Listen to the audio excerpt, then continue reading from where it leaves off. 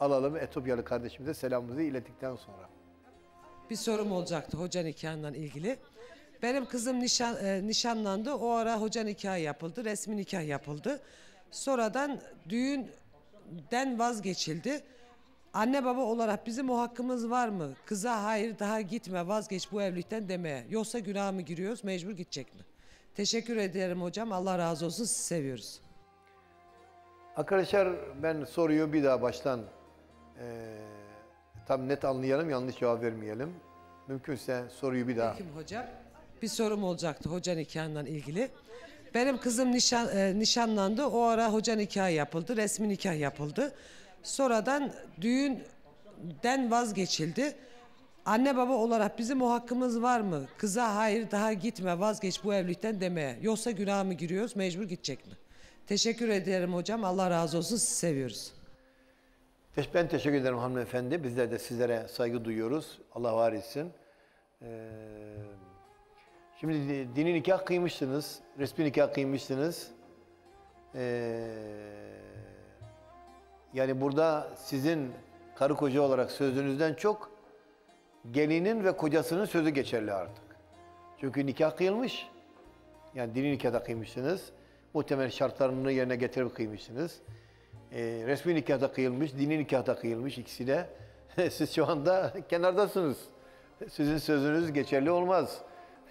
şu anda itibaren e, erkeğin sözü geçer, karısının sözü geçer. Yani yeni evlilerin sözü geçer, karı kocanın sözü geçer.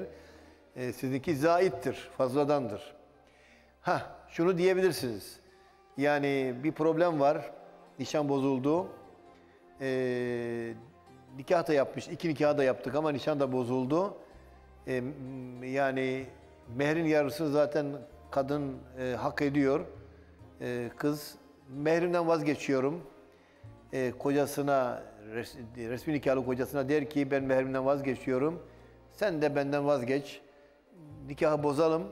Dini nikahı da bozalım. Zaten resmi nikah bozulunca dini nikah da bozulmuş oluyor. En azından bir meyi, bir bir e, talak gitmiş oluyor veya fesih oluyor.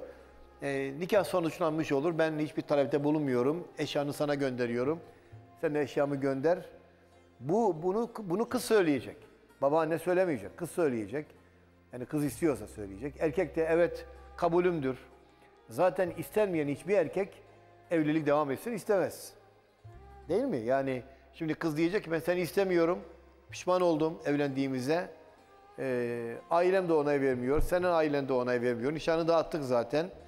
Yani birbirimizi üzmeyelim, kırmayalım, birbirimizi incitmeyelim. Herkes kendi yoluna derse erkek, kadın da bunu kabul ederse problem yok.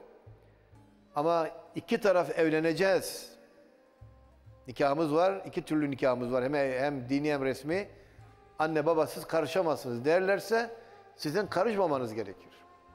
Çok önemli bir gerekçeniz yoksa, yani din farkı veyahut da e, bilmediğiniz bazı detaylar ortaya çıktı, kandırıldınız diyelim ailece. Öyle öyledir olay demiyorum. E, Genel genel konuşuyorum. Kandırıldınız. Nikaha engel bir durum vardır, teknik bir durum var, kanuni, dini bir durum var. O ayrı mesele. Mesela e, süt kardeşleri olduğu ortaya çıktı.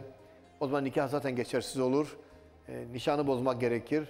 Resmi nikahı boşamak gerekir. Veya e, kadın evli bir adamla daha evlendi diyelim mesela. Resmi nikahı var, dini nikahı da devam ediyor. Devam ediyor.